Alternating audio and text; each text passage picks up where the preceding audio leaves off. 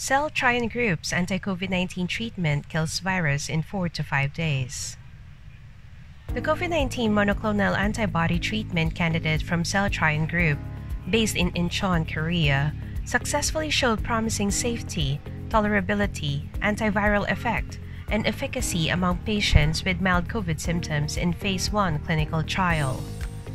Celltrion has reported results from the ongoing Phase 1 randomized double-blind placebo-controlled and parallel group trial. The trial was designed to assess the safety, tolerability, and antiviral effect of CTP59, Celltrion's anti-COVID-19 monoclonal antibody treatment candidate. The trial enrolled 18 patients with mild symptoms of SARS-CoV-2 infection who were randomized into three cohorts in which 15 patients received CTP59 at 20 milligrams per kilogram 40 milligrams per kilogram or 80 milligrams per kilogram respectively, or matching placebo for three patients. The results suggest that the patient population treated with CTP59 had about 44% reduced mean clinical recovery time, unlike the average placebo recovery time. Seo Jung Jin is the chairman of Celltrion Group.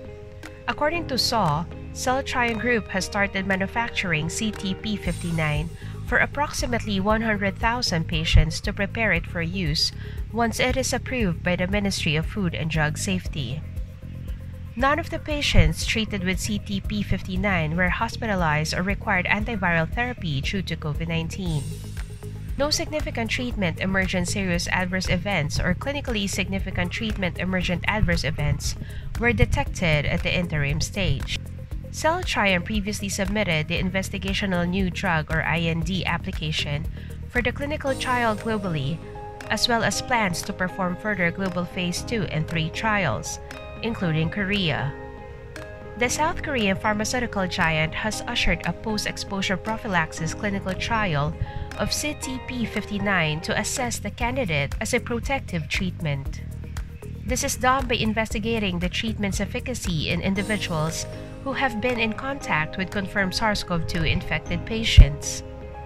In a radio interview, Seo said that previous clinical trial results showed that the coronavirus nearly dies within 4 to 5 days.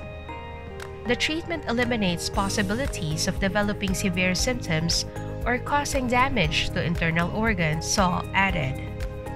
Celltrion Group will apply for a conditional approval in December to treat patients earlier if the Phase 2 trial is completed within 2020 and shows no side effects.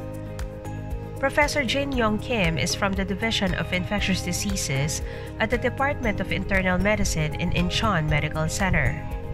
For Jin, this is a positive and encouraging efficacy and safety data that showcases a faster recovery time in patients with mild COVID 19 symptoms.